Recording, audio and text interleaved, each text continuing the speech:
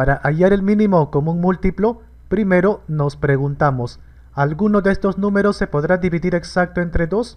Sí, ¿verdad? Así que entre 2.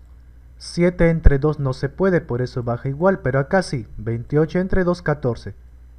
Todavía hay uno que se puede entre 2, así que seguimos. 7 baja porque no se puede entre 2, pero acá sí. 14 entre 2, 7. Ahora sí, acá ya ninguno se puede entre 2. Tampoco entre 3, tampoco entre 5, pero sí entre 7. 7 entre 7 a 1 y acá también. Cuando quedan puros unos, ahí termina. Y la respuesta sale de multiplicar acá. 2 por 2, 4 y 4 por 7, 28.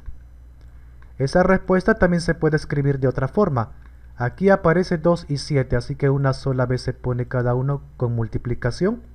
2 aparece dos veces.